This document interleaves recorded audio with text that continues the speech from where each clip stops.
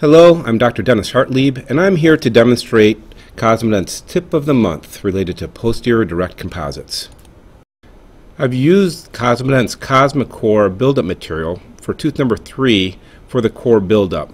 But today's discussion is going to center around using direct resin composites to restore these class 2 restorations.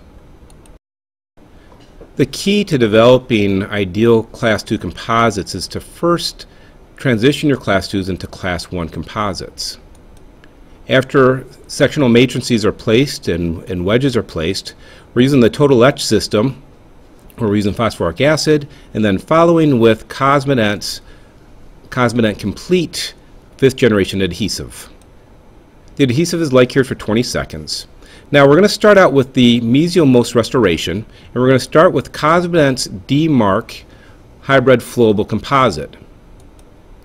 The De-Mark is placed at the cervical box in a thin layer and an explorer is used to bring the composite onto the matrix band.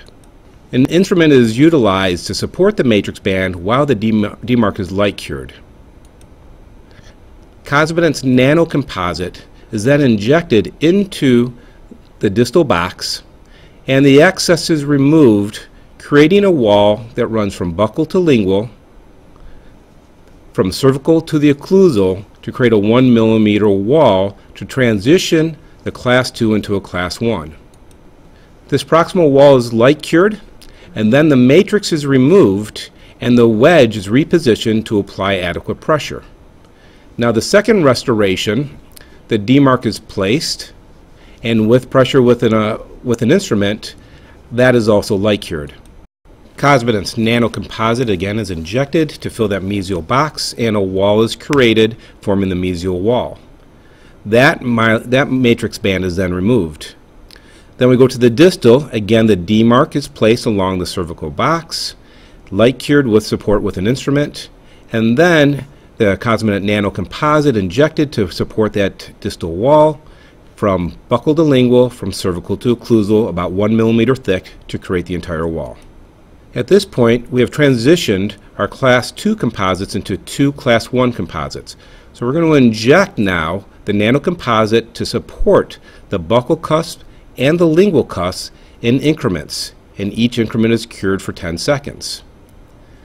Following those buccal and lingual increments, then we're going to actually use an incisal translucent nanocomposite, which will allow our composite to have more depth and create a restoration that has more natural characteristics. It is important to use eccentric syringes to inject the composite to be certain that you're not leaving any voids between the tooth structure and the composite. Each layer is cured for 10 seconds. The excess is removed, creating ideal tooth form and contour. Following the buildup of the composite, the nanocomposite restoration, some tinting is done using a number one brush from Cosmedent where many of the bristles have been cut off using the light brown, the dark brown tints, and the white opaquer to create natural aesthetic effects for these posterior restorations. Following application of the tints, the restorations are cured for a final 60 seconds. After curing, we're using a Brasseler burr, the 8392-016, to adjust the uh, proximal contours. A series of carbide and steel burrs are used for final anatomy contouring and for polishing. Cosmedent's FlexiDisc is used to heighten the contour at the marginal ridge, and then a groovy brush from Clinician's Choice is used to apply the final polish.